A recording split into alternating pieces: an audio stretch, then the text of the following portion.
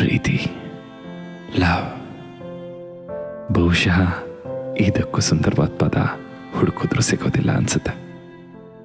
ಆ ಒಂದು ಸ್ವಚ್ಛ ಪದಕ್ಕೆ ಜೀವ ತುಂಬೋದು ಮನಸ್ಸು ಆ ಮನಸ್ಸಿನ ಪ್ರತಿ ಪುಟಗಳಲ್ಲಿ ಸುಂದರ ಕನಸುಗಳು, ಮಧುರ ನೆನಪುಗಳು, ಪ್ರೇಮ ನಿವೇದನೆಗಳು, ಆಡದ ಪಿಸು ಮಾತುಗಳು, ಪ್ರೀತಿಯ ತೊದಲು ನುಡಿಗಳು ಮುಗ್ಧ ಭಾವನೆಗಳು, ಕಣ್ಣಿನ ಕುಡಿ ನೋಟಗಳು, ಮೊದಲ ಸ್ಪರ್ಶದ ಪುಡಕಗಳು ಕದ್ದು ಮುಚ್ಚಿ ಹಂಚಿಕೊಂಡ ಸಂದೇಶಗಳು, ಅರಿಯದೆ ಜಾರಿದ ಕಣ್ಣ ಹನಿಗಳು, ಹಂಚಿಕೊಳ್ಳದ ಕಹಿ ಘಟನೆಗಳು ಇವೆಲ್ಲ ಅಚ್ಚೆ ಹೊತ್ತಿ ಮೂಡಿ ಬಂದಿರುವ ಸುಂದರ ಕವನಗಳೇ ಈ ನಮ್ಮ ಲವ್.